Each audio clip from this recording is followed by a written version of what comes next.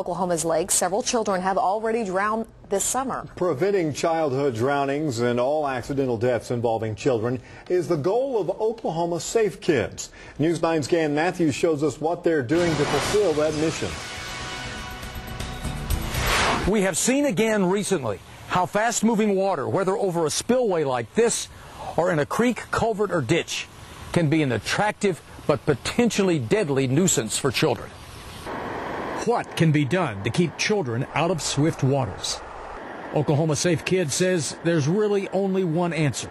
It is an attractive hazard, but it's one of those things that parents just have to be serious about and say, no time is there ever a, a safe place for you to be around fast moving water. Children also drown in lakes. Oklahoma Safe Kids has distributed free life jackets for children at state lakes, including Lake Thunderbird in Norman. They're type 1 uh, life jacket that prevents them from being able to float belly down. It automatically turns them over on their back. This year, Safe Kids Oklahoma has distributed over 2,000 vests at 14 state lakes.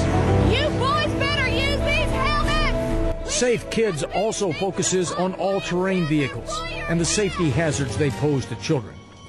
This Safe Kids produced video offers safety tips to parents and riders.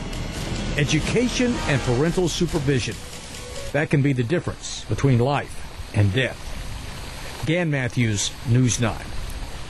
Now, over the Independence Day weekend, there were two ATV related deaths in Oklahoma.